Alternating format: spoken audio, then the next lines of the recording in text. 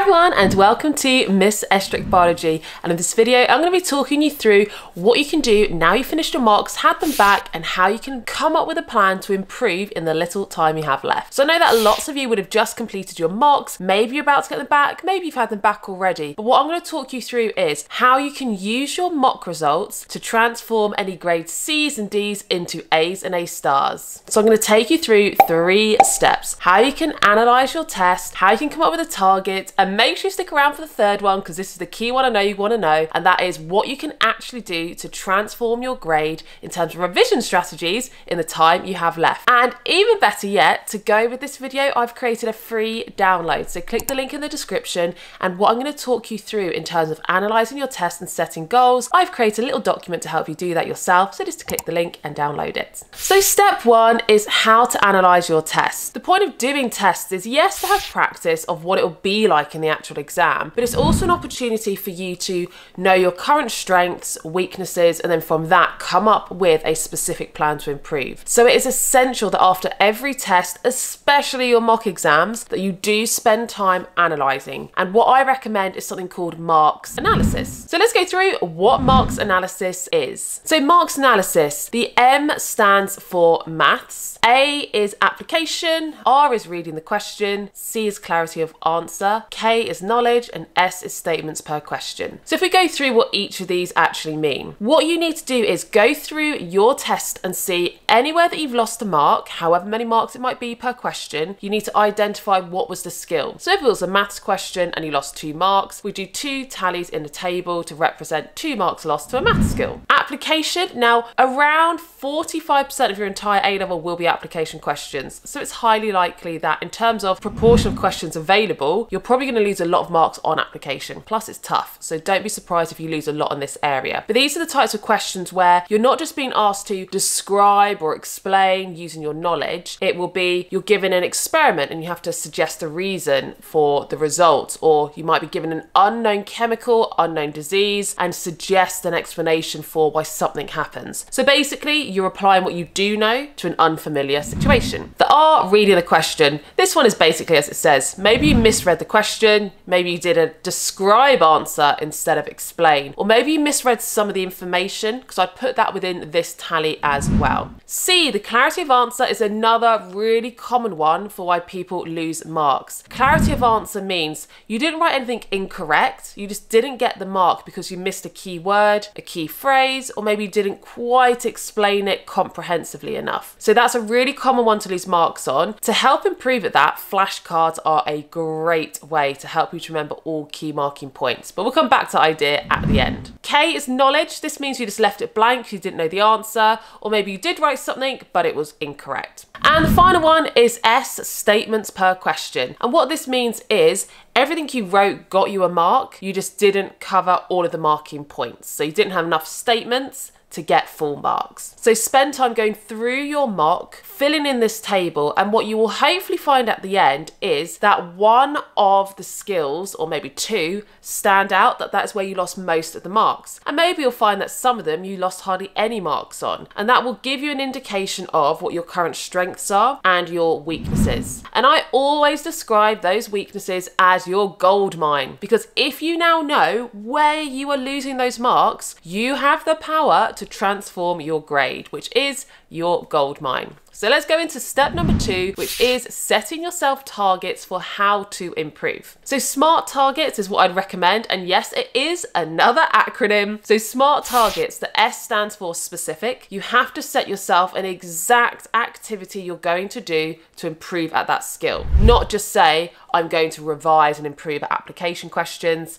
Instead, it might be, I'm going to complete three application questions linked to the heart topic for example. The M is measurable. So that means whatever you set, you have to be able to physically tick off that you have done that activity. So again, you can't just say, I'm going to improve an application, because how are you going to measure that? There are ways, but not very easily. So you're better off setting an exact activity because that is specific and you can measure that you've literally completed that activity. Next then we have A, which is achievable. And we also have R, which is realistic. And I often think of these two together because you need to pick an activity that you can realistically realistically achieve. And that might be in terms of the resources you have available, or the time you have available, or what your current ability is. So you need to be realistic about what you're setting because you have to be able to achieve this target. And then lastly is T, and that is a set time phase. So you need to give yourself an exact period of time that you're going to complete this target over. So if it's your mocks, you might be wanting to set a target that you're going to complete over the next month. So if it was, let's say, clarity of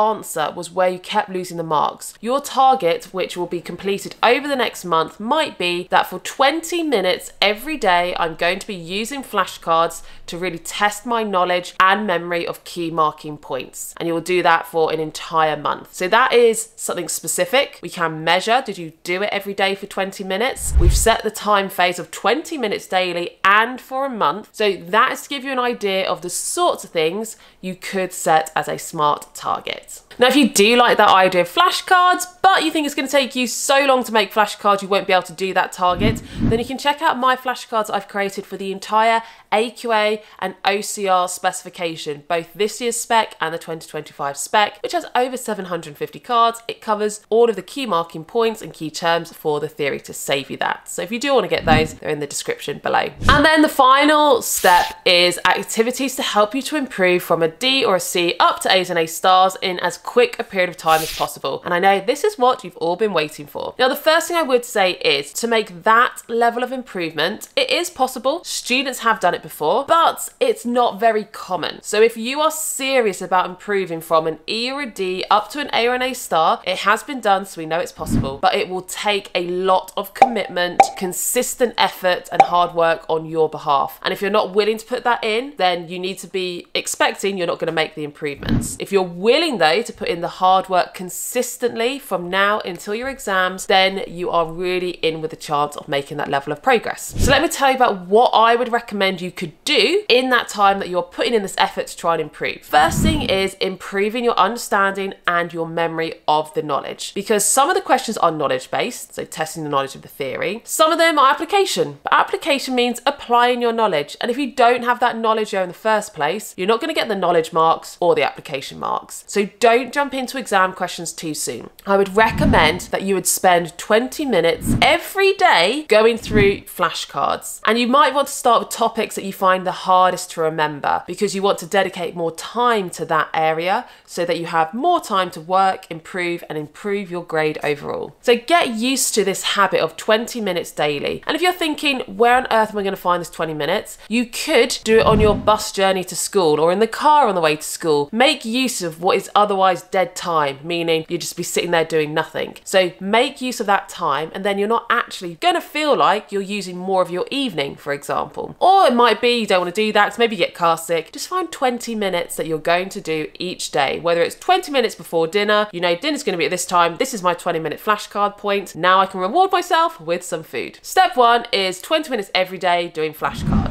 The next thing I'd recommend is blurting, and you might want to do this at the start of the week when you're going on to a new topic of flashcards. So do yourself a blurt for a topic and see what you can remember versus what you can't remember. And that will help you to prioritize some of the flashcards as well. So do that blurt at the start of the week and then do it again at the end of the week once you've done a whole week of flashcards dedicated to that topic. And you should then see by the end of the week, you can remember so much more. And then the final thing I recommend is exam questions. And you should be doing at least one hour of exam questions every week, even when you're not revising for a test. So if we put that together as a whole package of what you're going to be doing, for each week, start the week doing a blurt. And the blurt will probably take you 20 minutes maximum because you need five minutes to blurt everything down and maybe 15 minutes to look at your notes or one of my videos to fill in the missing gaps. You also need to be doing 20 minutes of flashcards every day. Then at the very end of the week, you're going to do the blurt again. So it's an extra 20 minutes at the end of the week. And then towards the end of the week as well, you need to find one hour to do exam questions. So it is quite a lot at the start and the end of the week because not only are you doing the flashcards on those days, you've got to do a blurt, and at the end, you've got to do a blurt and an hour of questions. But like I said, if you want to make several grades progress or you're really aiming for that A star, it does take a lot of hard work, dedication, and effort. So if you don't think it's going to be possible to do that much, maybe slightly bring it back a bit and you could say you're going to do your flashcards every other day. But if you do want to make that kind of improvement, that is what I would recommend. So those are the three key steps of how to improve from E's, D's and C's up to A's and A stars following your mock. And as I said, if you do want to get all of this information in a little free pack, then click the download link in the description. But for now, best of luck with analysing your mocks and I shall see you next week.